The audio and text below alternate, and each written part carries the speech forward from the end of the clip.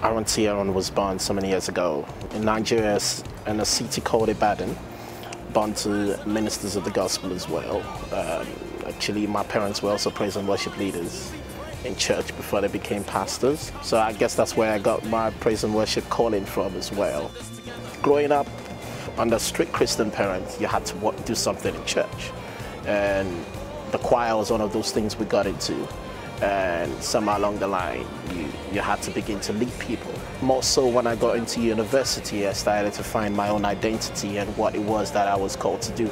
I really didn't think I had a great voice. I can actually remember an uncle of mine um, telling me that he thinks I have a rubbish voice and that, that was all I thought about my voice. Now along the line I find out that I minister or sing and people think okay he's alright and stuff like that. Now, coming into the UK also helped me in work in Seven in Church and Seven with Hill City, which is the choir, at the House on the Rock, London.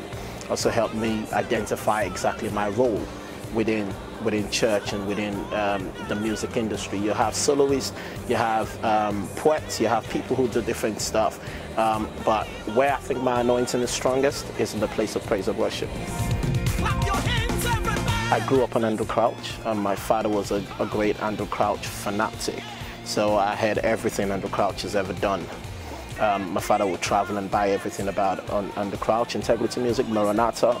So those are some of the things I grew up. Now, along the line, I probably started getting my identity from people like Alvin Slaughter and Ron Kenoly and um, coming into the UK, you have big influences like Muyiwa, who's just doing praise and worship, which is really where I find my footing.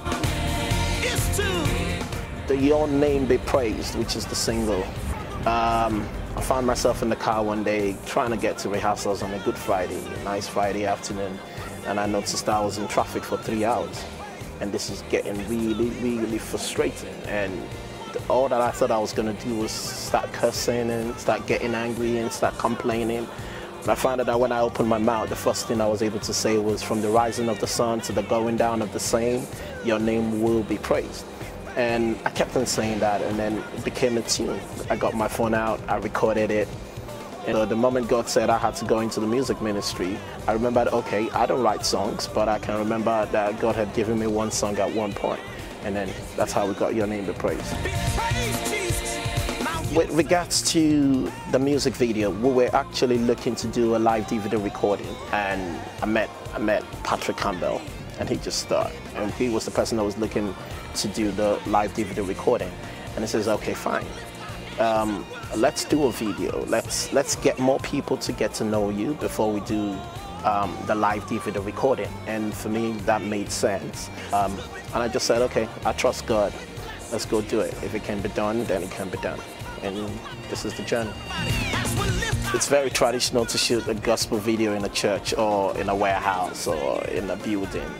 And we just thought, since we're looking to do something different, we decided to go to Epping Forest.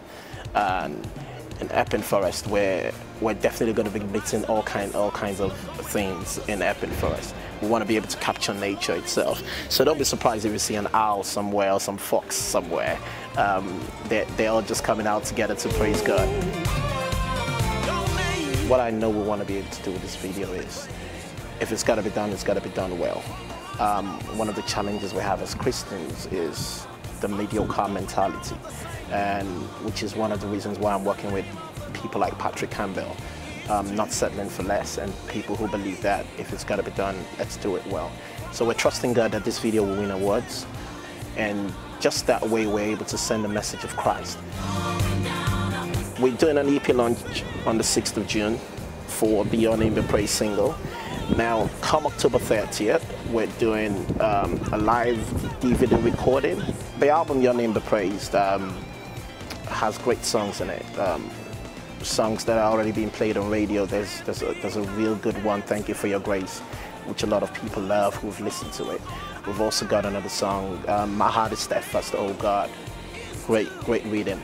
Now, what I'm doing with my music is a fusion of where I'm from and where I am right now. So it's almost a fusion of traditional African beats to it and um, contemporary music. So it's contemporary meets African obviously there's the, the issue of finance and uh, by the time I spoke with different producers here in the UK and outside the UK, and how much it actually costs to do this kind of stuff, you know. But how do you know that you're called is the fact that God makes provision for the vision, and that's what I've experienced every step of the way. So it's been a faith work, and I'm just enjoying the journey with God.